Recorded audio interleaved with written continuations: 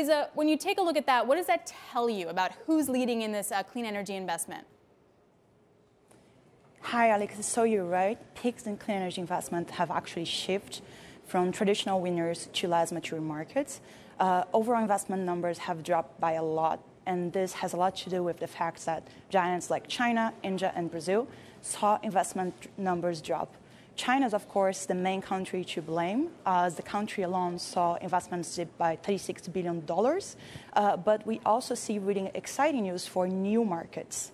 Uh, this is the case, for example, of Vietnam, Argentina, and Ukraine, which saw in 2018 record investment levels. Yeah, you, you, mentioned we have a chart that shows sort of Vietnam and how much the investment's gone up. Um, is that is that a fair thing to look at? Considering like the comps are going to be so low, and or what's driving that kind of investment?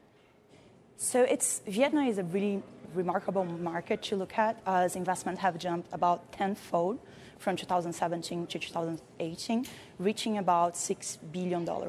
Uh, this was mainly driven by uh, a feed-in tariff, so what premium paid on clean energy contracts uh, that made especially the solar market attractive for developers and for investors. I'm glad you mentioned developers. Like who's footing the bill for all of this?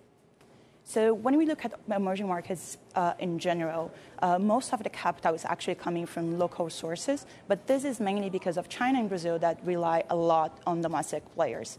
However, something interesting is that last year we saw uh, foreign investment for clean energy projects peaking uh, in emerging markets uh, with $24 billion. Uh, if we look at who is actually putting the money, uh, Enel is the top one investor, the Italian utility Enel, uh, not only in 2018, but also in the decade. Uh, over the past 10 years, Enel has invested $7.6 billion in clean energy projects around the emerging markets, most of it in Latin American nations such as Chile, Brazil, and Mexico, uh, and about $2 billion in 2018 alone.